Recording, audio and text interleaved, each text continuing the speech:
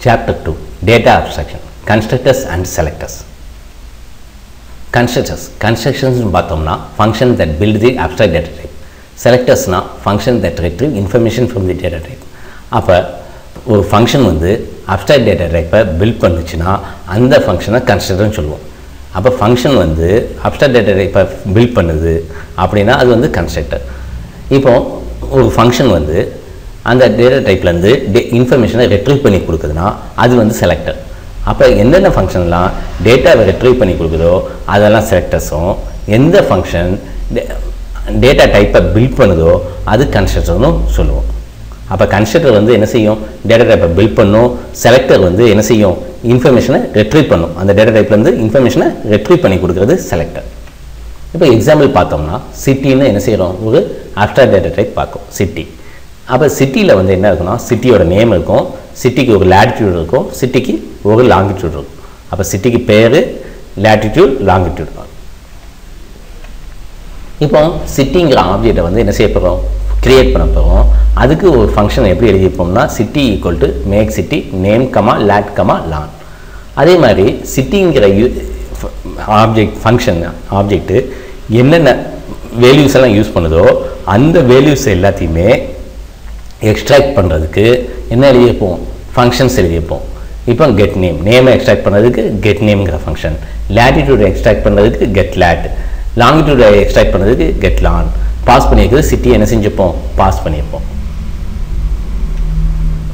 இப்போ ஒரு pseudo code எழுதுகிறோம் எனக்கு எழுதுகிறோம் distance between two city objects ரெண்டு சிட்டி ஆப்ஜெக்ட்ஸுக்கு நடுவில் எவ்வளோ டிஸ்டன்ஸ் இருக்குன்னு கண்டுபிடிக்கிறதுக்கு ஒரு சூடோ கோட் எழுதுகிறோம் டிஸ்டன்ஸ்னு அந்த ஃபங்க்ஷனுக்கு பேர். City one comma city two latitude 1 comma longitude equal to get lat of city one comma get lan of city one latitude two lg two equal latitude longitude of second city equal to get lat of city two comma get lan of city two then return ரிட்டர்னில் வந்து அந்த formula ரெண்டு latitude minus பண்ணி அதுக்கு power two ரெண்டு longitude minus பண்ணி power two டோட்டலாக நம்ம என்ன செய்யறோம் ஸ்கொயர் ரூட் எடுக்கிறோம் அதாவது பவர் ஒன் பை டூ கொடுத்துருக்கோம் இப்போ இதில் distance distance get lat get lat இதெல்லாம் என்னது? ஃபங்க்ஷன்ஸ் இதெல்லாம் ஃபங்க்ஷன்ஸ் இதில் எல்டிங்கிறது லேட்டிடியூடை மீன் பண்ணுது. எல்ஜிங்கிறது லாங்கிடியூடை மீன் பண்ணுது.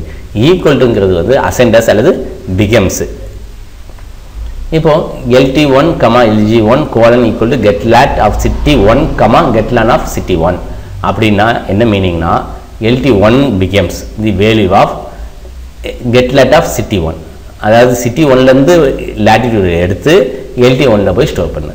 அதே மாதிரி L G one becomes the value of get lon of city one get lon city ஒன்று எதை ரிட்ரீவ் பண்ணுதோ அதை எல்ஜி ஒன்னை வச்சிடு. அந்த வேல்யூ தான் எனது எல்ஜி ஒன் இப்போது இந்த ஃபங்க்ஷன்ஸு கன்ஸ்ட்ரக்டர் செலக்டர்ஸ் இந்த ஏடிடி நம்ம பார்க்கும்போது இந்த ஃபங்க்ஷன்ஸை எப்படி இம்ப்ளிமெண்ட் பண்ணியிருக்கோங்கிறத நமக்கு என்ன செய்ய வேண்டியதில்லை? பார்க்க வேண்டிய அவசியம் இல்லை. அதை சம்மோன் யாரோ டிஃபைன் பண்ணி வச்சுட்டாங்க அதை நம்ம என்ன செஞ்சுக்கலாம்? யூஸ் மட்டும் பண்ணிக்கலாம். அப்போ எண்ட் யூஸர் வந்து இந்த ஃபங்க்ஷனோட இம்ப்ளிமெண்டேஷனை பற்றி கவலை இல்லை. ஆனால் இம்ப்ளிமெண்டேஷனை பற்றி கவலை இல்லைனாலும் யாரோ சில பேர் அதை என்ன செஞ்சு தான் வச்சுருந்துக்கணும் இம்ப்ளிமெண்ட் பண்ணி தான் வச்சுக்கணும் அந்த ஃபங்க்ஷனை இதுக்கு முன்னாடி ஏதோ டிஃபைன் பண்ணி தான் வச்சுக்கணும் ஆனால் என்ன செய்ய முடியும் நம்மளால்? இந்த கெட்லட் கெட்லான்லாம் யூஸ் பண்ணிக்கலாம். யூஸ் பண்ணிக்கலாமே தவிர ஆனால் எண்ட் யூசர் வந்து இந்த ஃபங்க்ஷனை எப்படி இம்ப்ளிமெண்ட் பண்ணியிருக்குங்கிறத பற்றி தான் பிரச்சனை இல்லை. ஆனால் சம் ஒன் என்ன செஞ்சுக்கணும் ஏற்கனவே? கண்டிப்பாக டிஃபைன் பண்ணி தான் வச்சுக்கணும் இப்போ இந்த சூழக்கோட்லேருந்து எதெல்லாம் கன்ஸ்ட்ரக்டர் எதெல்லாம் செலக்டருங்கிறத நம்ம என்ன செய்வோம்? ஐடென்டிஃபை பண்ணுவோம்.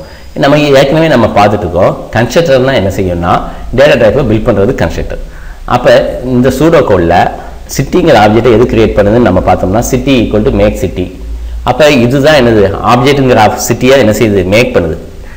ஒரு சிட்டிங்கிற ஆப்ஜெக்டாக என்ன செய்யுது? இந்த மேக் சிட்டிங்கிறது தான் இந்த சிட்டியை கிரியேட் பண்ணுது. அப்போ மேக் சிட்டி தான் என்னது? ஒரு கன்ஸ்ட்ரக்டர் மேக் சிட்டி தான் என்னது? ஒரு கன்ஸ்ட்ரக்டர் இப்போ எக்ஸாம்பிள் நம்ம பிக்டோரியலாக பண்ணோம்னா நேம் லேட் லாங்குங்கிறத மேக் சிட்டிங்கிற ஃபங்க்ஷனுக்கு கால் பண்ணு. கால் பண்ணால் என்ன கிடைக்கும்? சிட்டிங்கிற ஆப்ஜெக்ட் வந்து கிடைக்கும். இது பேராமீட்டர்ஸ் வெளியே வந்து பேராமீட்டராக பாஸ் பண்ணுறோம் மேக் சிட்டிக்கு நமக்கு என்ன கிடைக்குது? சிட்டிங்கிற ஒரு ஆப்ஜெக்ட் கிடைக்குது.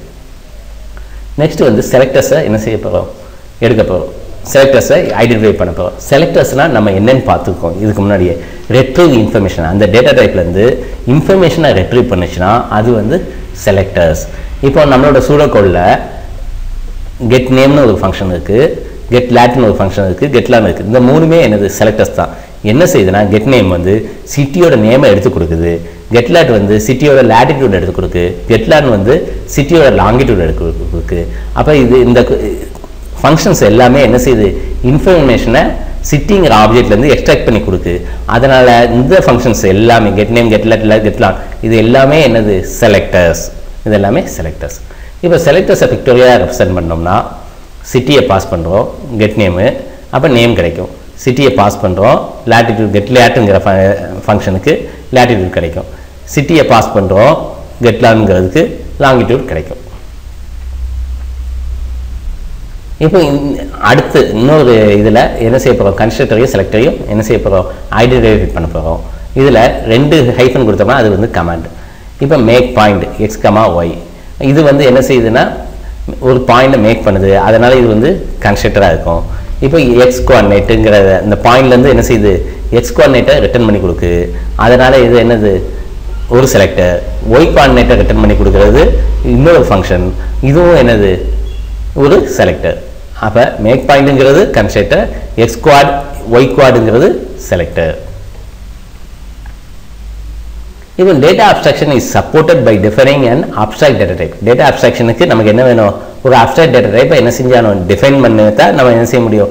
டேட்டா abstraction என்ன செய்ய முடியும்? டிஃபைன் பண்ண முடியும். இப்போ இதில் வந்து என்ன இருக்குன்னா கலெக்ஷன் ஆஃப் ஏடிடியில் என்ன கலெக்ஷன் ஆஃப் கன்ஸ்ட்ரக்டரும் செலக்டர்ஸும் இருக்கும். கன்ஸ்ட்ரக்டர் வந்து கிரியேட் ஆப்ஜெக்ட் என்ன செய்யும்? ஆப்ஜெக்டை கிரியேட் பண்ணும். நிறைய பீசஸ் ஆஃப் இன்ஃபர்மேஷனை எல்லாத்தையும் சேர்த்து ஒரு ஆப்ஜெக்டாக கிரியேட் பண்ணி கொடுக்கும். செலக்டர் வந்து ஒவ்வொரு அந்த ஆப்ஜெக்ட்லேருந்து ஒவ்வொரு இண்டிவிஜுவல் பீசஸை என்ன செய்யும்? ரெட்ரைவ் பண்ணும். ஒவ்வொரு இண்டிவிஜுவல் பீசஸ் ஆஃப் இன்ஃபர்மேஷனை என்ன செய்யும்? எடுத்து கொடுக்கும். கன்ஸ்ட்ரக்டர் வந்து இண்டிவிஜுவல் பீசஸ் எல்லாத்தையும் பண்டில் பண்ணும். செலக்டர்ஸ் வந்து இண்டிவிஜுவல் பீசஸ் எல்லாத்தையுமே பிரித்து கொடுக்கும். Next representation of abstract data type using rational numbers